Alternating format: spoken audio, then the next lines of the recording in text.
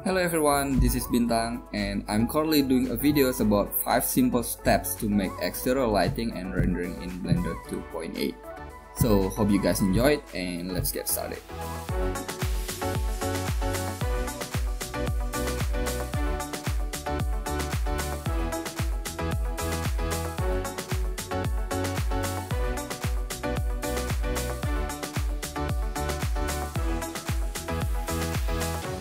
So, the first thing, set up your 3D model.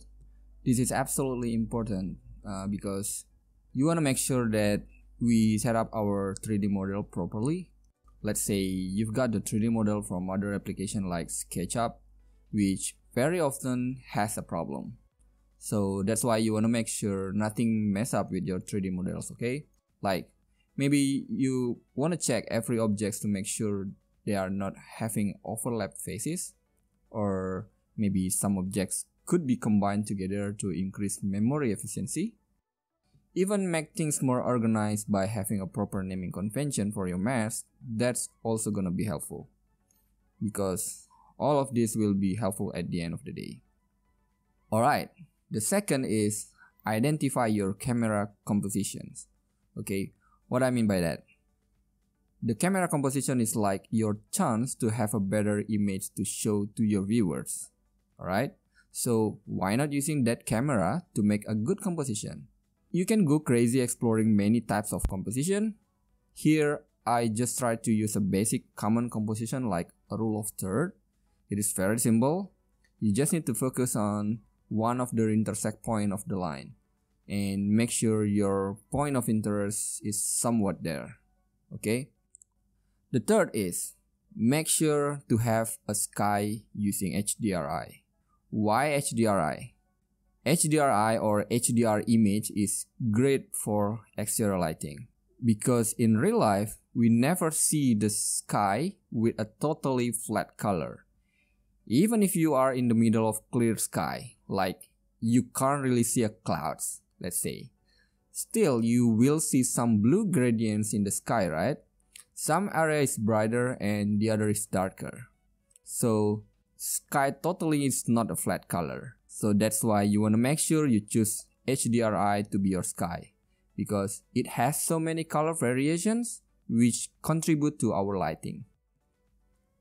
The fourth is put a proper materials or shaders. You also want to make sure to use a principal BSDF as your base shader for like every important objects in your 3D scene because it will make sure the surface that hit by light will have a proper behavior. So that's why use principle BSDF. So go ahead, give your objects a principle BSDF shader. Okay. Next, let's use the magic of Cryptomatte. I think not everyone knows how to use the Cryptomatte, but in the studio where I'm working right now, we use Cryptomatte a lot in our projects because we know that we can save so much time dealing with mates. It first introduced by Psyop, I believe. They make it for Nuke, the most popular compositing software on the market right now. But now Cryptomatte also in Blender.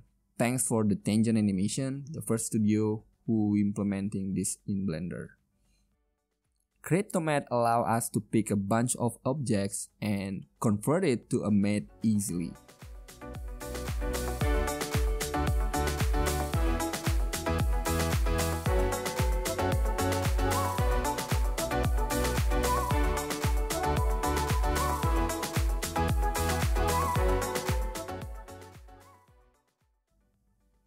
Every bit of post-processing is important, so please do it. Here you can see that I have Photoshop file which consists of many layers within a group. So I can easily see what happened inside. Like I have a beauty group where I put the original renders and doing some touch up to that. Like maybe I want to smooth out the noise area like here and even like give a fake glass, like a fake glass on this part.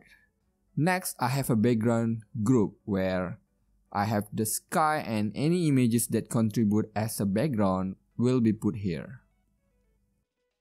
But the most important things for me is this layer called color correction group, where I use a Cryptomatte and using curve adjustment layers, I try to mask some areas and give a proper balance for the colors. The other part of these processing steps is more to do with giving elements that can make this image looks more interesting.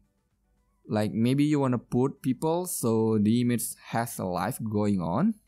You can also give a bloom and vignette like usual. Other than that, you can just explore and give your taste if you want. And yeah, that's pretty much it guys. If you feel like you have any ideas or questions, please leave a comment below. And if you like this type of content, you can subscribe if you want to. Give me a thumbs up and see you on the next video.